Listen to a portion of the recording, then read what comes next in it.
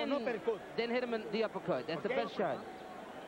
Lo levantas con tu uppercut. You make sure you Lo pick him up poco with that uppercut. Eh, de- déjeme Face hablar. him. Let me talk. ¿Qué, qué dice Chuck? Me está confundiendo a él. Dígale que no ah, hable. Dígalo, dígalo. Hable, hable, hable. Ven. Si lo ves así, Here you will see the flurry of De La Hoya in that round with his amazingly quick hands.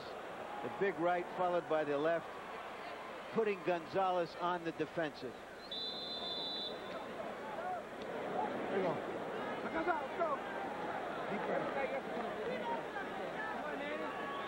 Hoya has taken some shots, but his face so far unmarked. We've shown you the mouse under the right eye of Miguel Angel Gonzalez.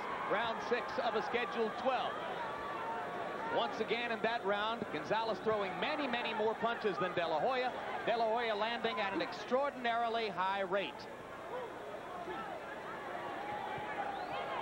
Lederman, if you see something in what De La Hoya is doing that affects is affected by the rules? Jim, absolutely. Oscar De La Hoya measures you. He sticks that left glove out, he opens it up, and then he whacks you with a right hand, and he does it a lot. And a lot of referees won't allow that. You can't open a glove. He holds it out, he pushes Gonzalez off, and then he whacks him with the right hand. And he's done it more than once.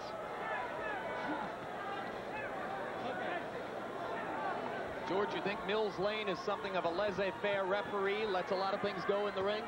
I don't think so because Oscar's not touching him with that open hand. He's more or less keeping it out there. That as long as your hand is out there, it's part of your body.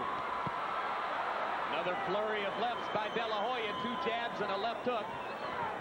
Another good show of tough chin by Miguel Angel Gonzalez. And Gonzalez again takes advantage at close quarters to whack De La Hoya, and Mills has to talk about it again. Still no deduction.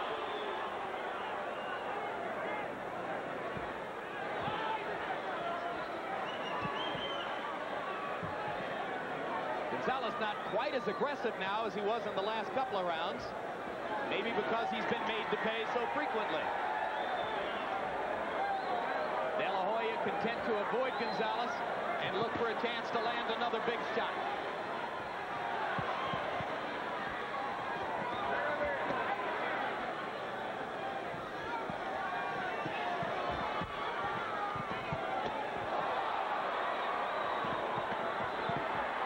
Good combination by Gonzalez. He takes a better one in return from De La Hoya.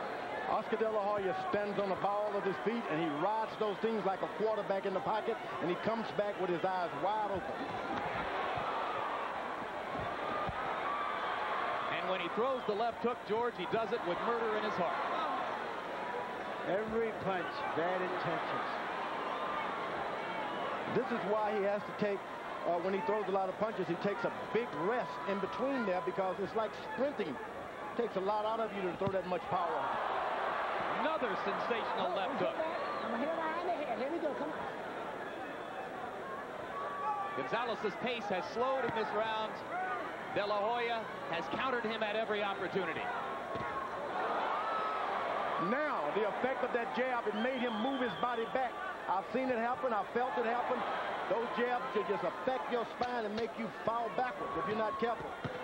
Oh, what a left hook. What a chin Gonzalez has. That punch has knocked out most De La Hoya opponents. Right now, he's taking apart a good fighter like a jeweler taking apart a good watch.